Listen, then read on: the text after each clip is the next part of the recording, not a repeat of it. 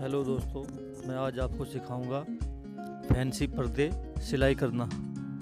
तो देखिए, मैंने ये अभी सिलाई किए हैं दो पर्दे। और मैंने टांग भी दिए हैं अपने दरवाजे में। तो इसके लिए आपको चाहिए कपड़ा, रिंग और ये इसमें टेप लगती है जिसमें रिंग लगते हैं। तो सबसे पहले आप जो है जितना आपके पर्दे की लंबाई होती है, उतना पर्दा काट लीजिए। उसमें आठ इंच प्लस करना, और इसमें टेप चाहिए। उसके बाद पर्दे में ये टेप रख के आप टेप काट लीजिए। टेप काटने के बाद उसको सिलाई करना है पर्दे में। उसके बाद हमें फिर इसमें छेद करने हैं, और उसमें रिंग लगेंगे ये। ये छः रुपये का रिंग आता है। एक पर्दे में आठ रिंग लगते हैं। और ये टेप जो है ये पंद्रह रुपए की टेप लगती है एक पर्दे में। तो देखिए मैंने इसमें टेप लगाने के बाद कटिंग की है, इसमें अभी रिंग डालूँगा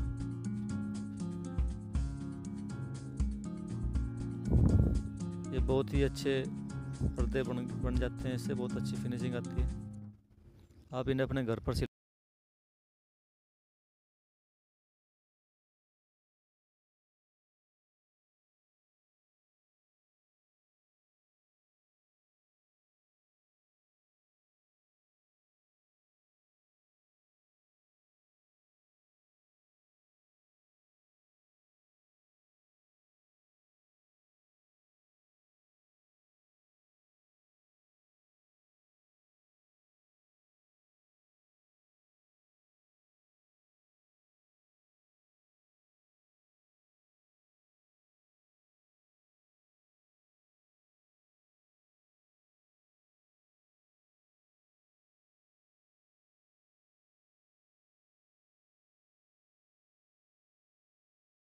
एक इंच का कपड़ा फोल्ड करके ऊपर से टेप रख के हमें इसको सिलाई कर देना है। दोनों साइड में टेप को सिलाई मारनी है। देखिए, ऊपर की साइड सिलाई मार रहा हूँ अभी फिर इसके बाद नीचे सिलाई मारूँगा।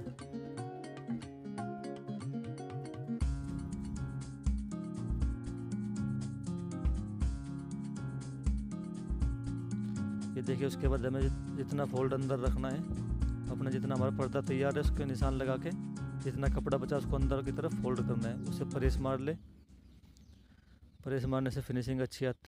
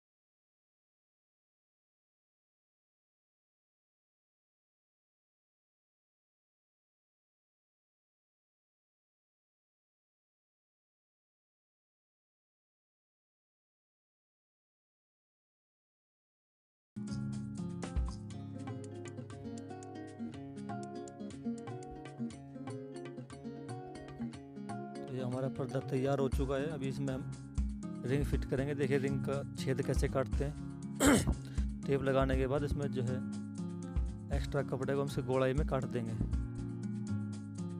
अगर रिंग बड़ा हो तो हम टेप भी टेप को भी काट सकते हैं, रिंग के हिसाब से। लेकिन अगर इसी छेद में रिंग आ जाएगा तो फिर हम इतना ही गोड़ाई में काट देंगे।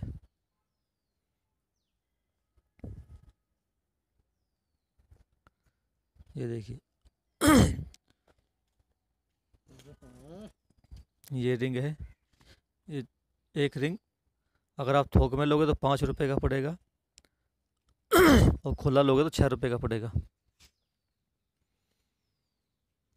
एक पैकेट में चार सौ चार सौ बीस का पैकेट आता है। उसमें अस्सी पीस आते हैं। ये अच्छे वाले रिंग है। कभी भी चमक खराब नहीं होगी इनकी। और ना कभी खुलेंगे।